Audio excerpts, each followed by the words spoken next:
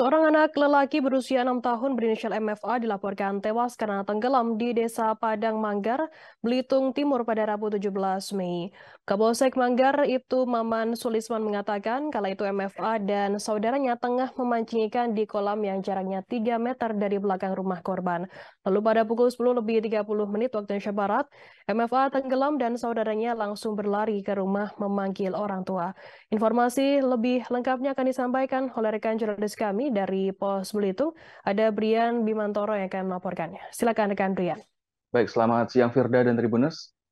Bisa saya kabarkan seorang bocah lelaki tewas tenggelam di Desa Padang, Manggar, Belitung Timur pada Rabu 17 Mei 2023 kemarin. Dia tewas di belakang rumahnya sendiri saat sedang memancing ikan di kolam ikan yang berada tepat di belakang rumahnya kemarin. Kapolsek Manggar, Ibtu Maman Sulisman, mengungkapkan kejadian awalnya di saat mereka sedang memancing, di mana MFA sedang memancing dengan saudaranya di belakang rumahnya. Kemudian tiba-tiba saudaranya melihat MFA tenggelam di kolam yang yang diketahui mempunyai kedalaman satu meter dan sesaat setelah itu saudaranya itu langsung mengabarkan ke rumah ke dalam rumah di mana orang tuanya sedang berada di dalam rumah pada saat itu. Kemudian karena panik orang tua yang di mana dalam hal ini adalah ibunya uh, langsung ke belakang ke kolam ikan tersebut untuk mengevakuasi MFA sendiri dan juga dibantu dengan anak-anaknya yang saat itu berada di dalam rumahnya. Namun ketika dua menit sedang uh, ketika setelah dua menit dicari MFA berhasil ditemukan namun sudah dalam keadaan meninggal dunia Firda dan Tribuners.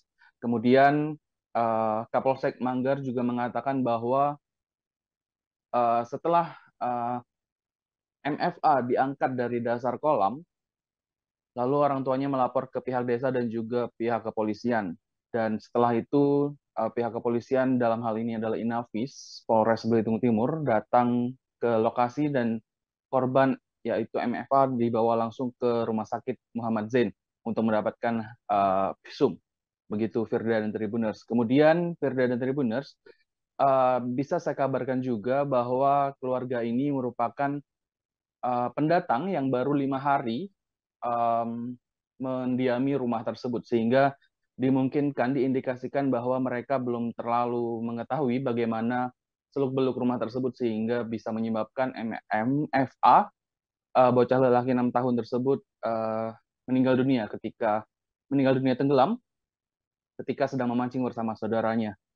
Dan kemarin juga dari hasil visum Kerda dan Tribuners tidak dapat tidak diketahui atau maksud saya tidak ada di, di, di tidak ada luka-luka lebam maupun uh, tindakan kekerasan lainnya seperti yang dikatakan oleh Kapolsek Maman Kapolsek Ibtu Maman dari Manggar, Belitung Timur, wartawan Pos Belitung Brimi Metro melaporkan kembali ke studio, Firda.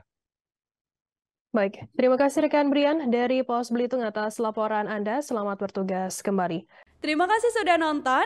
Jangan lupa like, subscribe, dan share ya.